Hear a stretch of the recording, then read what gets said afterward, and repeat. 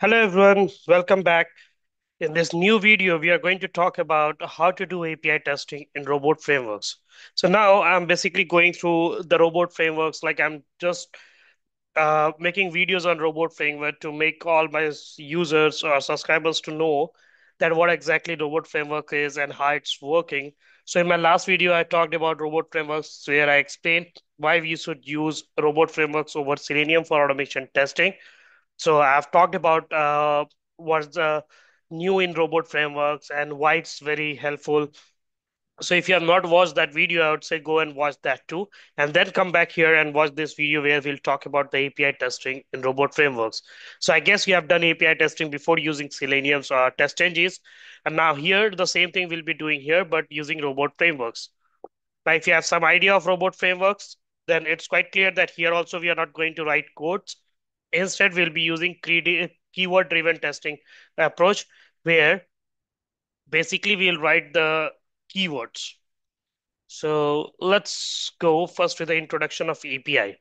So API testing is a type of software testing that involves testing application program interface directly and checking if they meet expectation for functionalities, reliabilities, performance, and securities instead of testing the UI like buttons or screens, like UI, when you talk about UIs mean buttons or screens, in API testing, we test the backend logic, how software talks to each other.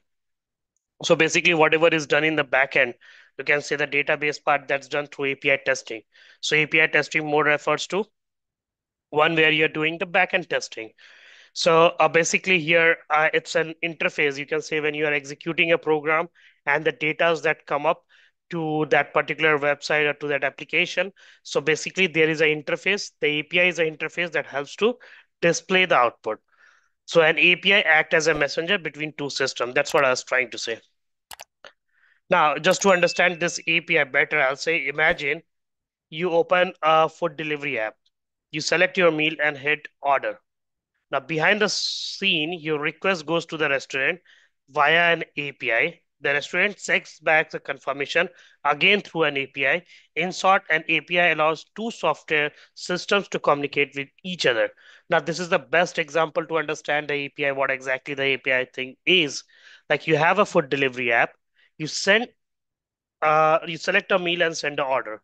So that order is sent to the other person who accepts your order. That means you send a request that person accepts the order. Once it, he accepts the order, he sends back, and that request is the response is delivered to you saying that the order is accepted. So the communication between these two places, the two places where see the communication between them, is controlled basically through this API. That's what API is.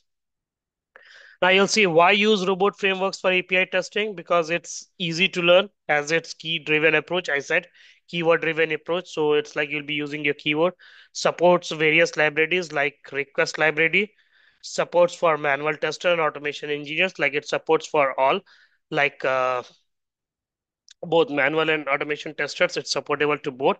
And it supports library like request library that's basically used for API testing.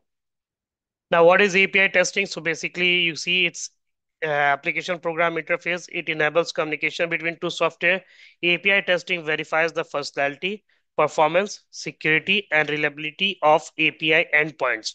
Endpoint means from where you send a request and from where you fetch the response. So in API testing, that is done sending a request and accept a and get a response. Both is done through API testing. And also one thing, if you're using API testing, then in that case, your data is secure. Like no, it's very less chance to be get hacked or the data gets glitched. So that's why we preferred using API testing. Now you know about the robot frameworks. It's an open source automation frameworks. Use simple English text where we to write the test cases. Support testings of web application, APIs, database, and files. So it supports in four different fields. Key features of robot frameworks is human readable syntax, executable with Python, and rich ecosystems of libraries. So you have a lot of libraries to run robot frameworks. Now I've talked more about this robot frameworks in my last video. Still, I've given you an introduction.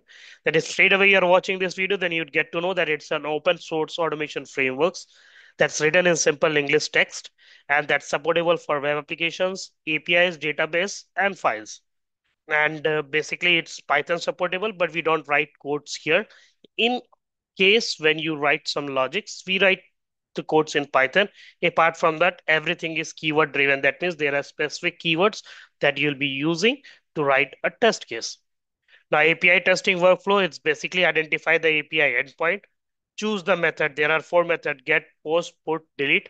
Get if you want to fetch any data, post when you are sending an API request and you want just like you uh basically when you are just like you are performing login so you enter the username and password.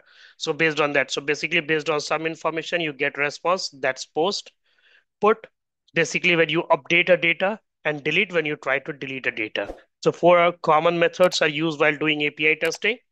Now here we set in API testing, we set the headers and parameters to send request and the response can will be like in one form of status code. There will be some response body that contains some information, headers and response time. These type of informations are mostly fetched in case of response. And these are the four packages are basically you can say four libraries that you have to install while using robot frameworks. So request robot frameworks, robot frameworks dash request, robot frameworks dash JSON library. So these four uh, these four packages you have to install while you are using robot frameworks. I have my one test case ready for you. So now I've just shown you how what exactly this API testing is, robot frameworks is. Now let's implement in real time. I'll show you a real time example. You'll get a better idea of this. Now you see, this is one of my API. This is one of my API, and I'll show you in the Postman. This is the API. If you see, this is the API, and I've used the get method here. That means I'll fetch some documents from here. So when I send a request, now Postman is the tool where you can easily go and check how the API is functioning. So here, when you click the send button, you see you get a list of datas here. As well as you get a response as 200 okay. That means the request, based on the request that you send, you got the response. So that's why you got the return 200. Now in my test case, what I'm going to test here is that I will do the same thing. I'll send a request and try to fetch the response and check the status code. Now, before doing this, you have to check that this is one of the project that's created in PyCharm. Go to your settings and in settings, here in Python interpreter, you see I've installed four libraries. Basically, you have to do nothing. You have to go here. You have to search for the libraries. Like if you search for requests, you get the library request. In my case, it's installed, so I'm not getting it back. Or if you mention for robot frameworks, you will have it. In my case, it's basically installed, so you are not able to see it, but you have to, I'll show you what libraries I have installed. Yeah, robot framework, dash, request. You see request, you got it? So basically it's installed, so I don't get the install package options. So what I have installed here is, you see the very first thing, I mentioned four things. First, request I installed, robot frameworks I installed, robot frameworks JSON library I installed, and robot frameworks JSON request I installed. These three things we installed. Now, once this is installed, then as usual, this is how we write the robot frameworks code. So first we'll go to the settings. We will first say request library, uh, library, request library. In variables, I've said two things. Now this is my base URL and this is the extension. So what I've done, I've defined two variables, one as base URL and the other one as users. So in base URL, I have passed the base URL, the one that's used uh, that I'm using for API testing. As you have seen here, this is my complete URL. So this part of URL, I've kept it as base URL. So I'm assigning this value to base URL and the extension to users. Now below I'm writing a test case. So if you are familiar with robot frameworks, then it's good. If not, then I'll tell you how we write the test cases in robot framework. So we have three sections. First is settings, second one is variables, and the last one is test cases. In the test cases, first you name the test cases like get weather info. So basically, this is the name I have given. You can give any name you like. I have given the name as get weather info. You can give any name. Now, the next thing what I have done is first I'm creating a session. Now I'm creating a session so that I can just pass my URL to it. So that's why I use the keyword create session. And I've given a name. Now, just I've given the name as my session, and again uh, here I've passed the URL. So create session, this keyword, based on this keyword, a session is created. Now in the next line, I use get request. So when I use get request, then it's clear that when I'll pass this URL, this URL will return me a uh, get. Basically, I'm sending a request using the get method. So get request I'm sending, and here I pass the user. Now instead, no, here I've written the keyword as my session. So here this base URL will pass instead of this uh, in place of this my session. So what I've done in, indirectly is that instead of writing the base URL here every time, I've just written this my session. So this base URL will come here. Along with this base URL, the user part will also go. So this will become a complete URL. Now this will give you some response. And you see I'm initializing like dollar response I have initialized is equals to. So whichever response it gives, that response will be tracked in this response variable. Now here a little bit of uh, knowledge if you have Python knowledge, then I guess it will be quite clear. Now log to console, this is a print statement basically used in API to track the uh, response or basically you see I'm saying response dot status code. So when I say response dot status code, so this will give me this status code as 200 if it's correct. If not, it will give me wrong. So as usual, I go to terminal here and just I will write robot test case is the name of my folder where that file is. And first robot test case dot robot is the file name. Now when I run this, sorry, what I did by mistake, this report is here. It's clicked. So here, when I run this, so you see it says pass. Get weather info is the name of my test case, which I've given. And it says this test case is pass. And because I have used log to console, so it gives me the response as 200. So it takes the response number and prints out here.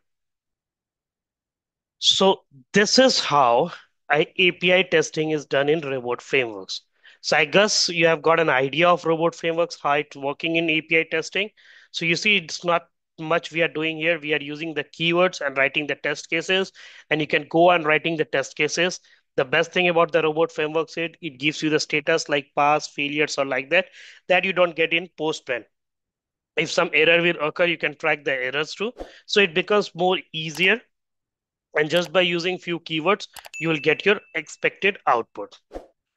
So that's how robot frameworks help you. Here, no need to write codes. It's just based on the keywords. And this is how we can try uh, API testing using robot frameworks. So this is just an overview. Later, we'll see uh, in details about this. So I guess from here, you have got an idea how API testing, how to do API testing in robots frameworks. That's all in this video. In next video, we'll talk about uh, the other topics. So stay tuned and keep watching my videos till then. Bye bye and thank you.